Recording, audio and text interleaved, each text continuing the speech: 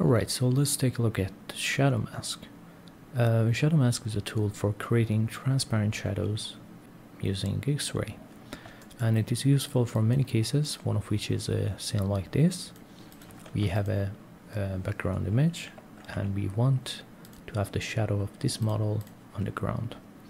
And for that, all you need to do is assign a new material, select the object, hit build selected and as you can see it uh, the shadow but it is not mixed very well with the background.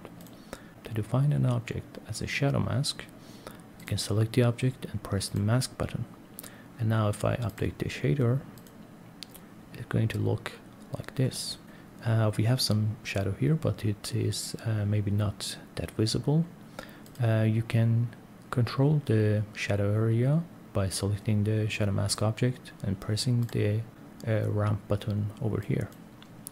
And this will give you a good control over the area of the shadow. And as you can see the shadow is currently white.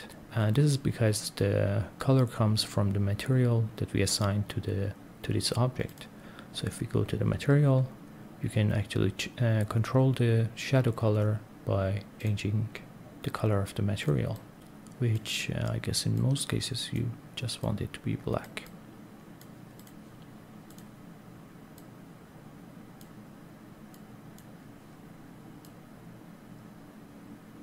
Yeah, something like this.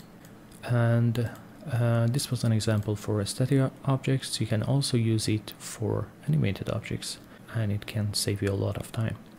So for example, over here, I have animated this uh, character it uh, goes something like this. And instead of animating every frame for all the objects uh, that this uh, character casts shadow on I just create a proxy mesh and set this one as mask. We can set it to animated.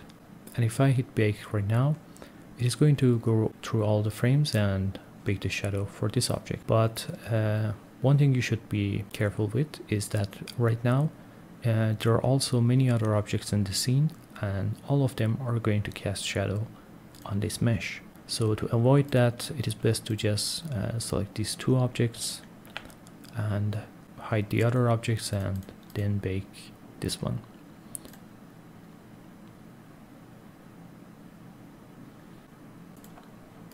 Okay, so now we have something like this.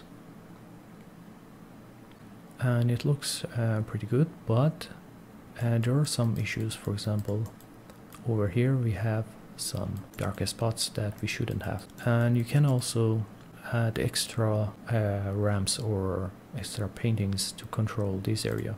So if I uh, select the shadow ramp I can go to color offset assign a new ramp here and let me just change the direction and I'm going to just keep the middle middle part. So uh, these areas are going to just disappear.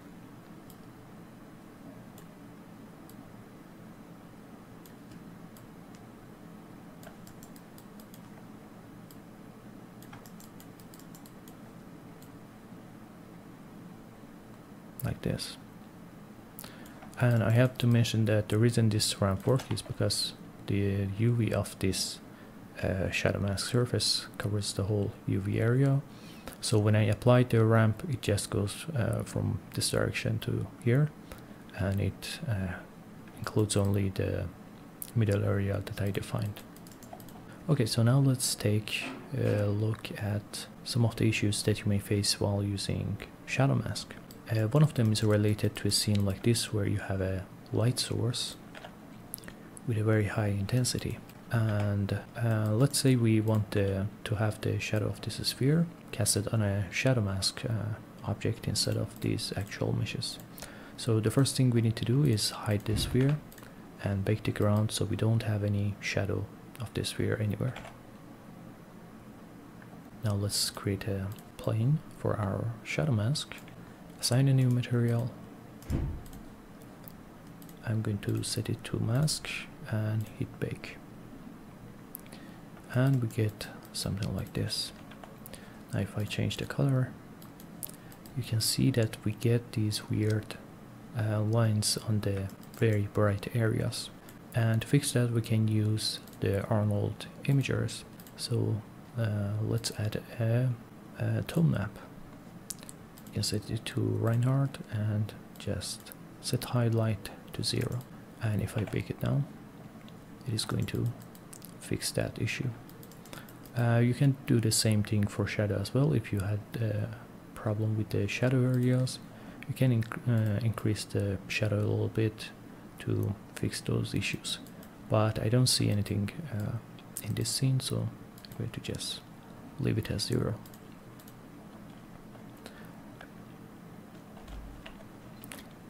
This animated object also gets close to these uh, boxes, so it is going to cast shadow on um, this object as well. If it is a simple object like this, we can just duplicate them and combine them with the plane and make sure all of them have the same material. Also, check the light map UV and um, for this uh, case I'm going to just use a automatic UV to create a proper light map for the merge uh, objects. Uh, you can also delete any unnecessary faces, so for example the ones on the bottom, are not going to be useful. And now I'm going to set it to mask again and hit build. Now uh, in this case you, you need to also just solo the shadow mask and the animated object uh, let's set it to animated and hit bake.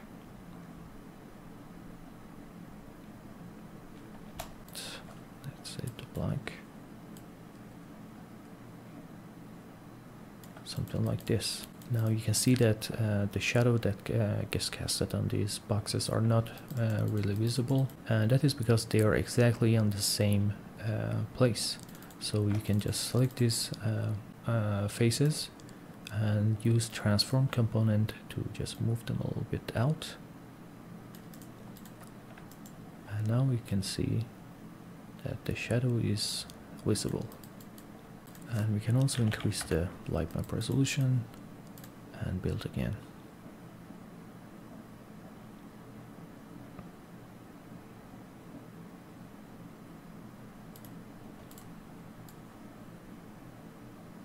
And the last tip for uh, using the shadow mask would be to uh, use the vertex uh, color to mask uh, some shadow areas. So uh, for that you need to, to, have more division on the uh, shadow mask surface. So for example, let's say I, I want to say that I don't want any shadow in this area.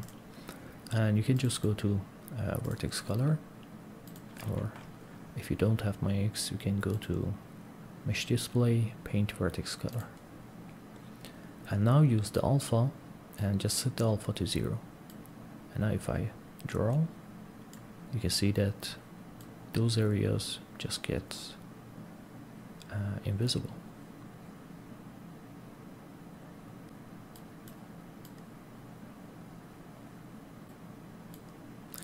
now you can see that uh, when I uh, set the alpha back to 1 uh, it gets completely black.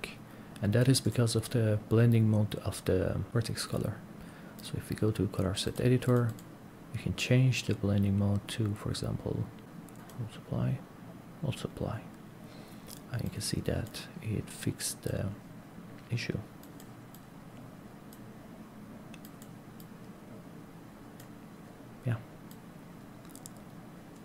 yeah, this is a very useful uh, tool for masking some areas. So for example, if you uh, feel that the dark side of these boxes also gets multiplied and you don't want that, you can just use the alpha to remove those areas and don't get any dark shadow over there.